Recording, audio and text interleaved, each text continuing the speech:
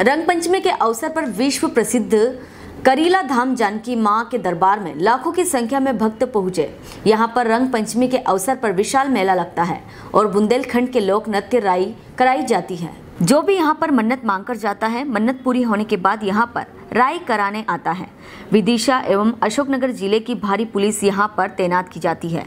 एवं दोनों जिलों का प्रशासन यहाँ पर निगरानी रखता है। अशोकनगर कलेक्टर ने बताया कि करीब दो दिन में 20 लाख से ऊपर भक्तों के आने की संभावना है, जिसको देखते हुए प्रशासन द्वारा काफ़ी व्यवस्थाएँ की गई है। किसी जमाने में यह स्थान एक सुनसान जंगल में हुआ करता था, लेकिन अब प्रशासन द्वारा चारों ओर व्यवस्थाएँ बनाई गई हैं। पानी, धर्मशाला आदि व्यवस्थाएँ कराई गई है।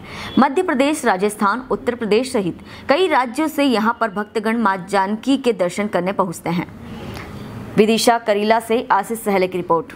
देखिए, ये इस ज़िले का सबसे बड़ा आयोजन है करीला मेला और अशोकनगर ज़िला और विदिशा ज़िले का प्रशासन पिछले पंद्रह दिन से वहाँ पर रोज़ एक्सरसाइज करने में लगा हुआ है। रोज़ कमिश्नर कलेक्टर और भी बड़े अधिकारियों के दौरे हो रहे हैं। कई जनप्रतिनिधि और मंत्रीगण भी पहुँच रहे हैं।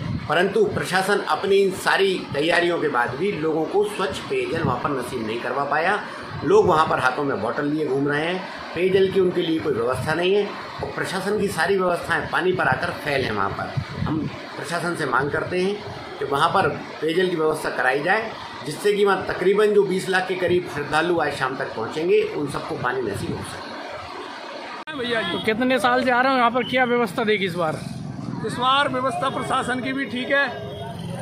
और काफ़ी जनता दो साल से कोरोना में नहीं आ रही थी वो काफ़ी जनता और शाम को बहुत इकट्ठी हो जाएगी ऐसा सुना है।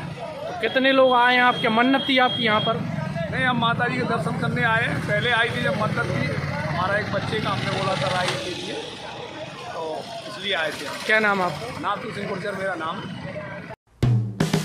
हेलो फ्रेंड्स आप देख रहे हैं हमारा channel S W twenty four news हमारे सारे वीडियो सबसे पहले देखने के लिए आप हमारे चैनल को सब्सक्राइब करें और पास में लगे बेल आइकोन को दबाना बिल्कुल भी ना भूलें।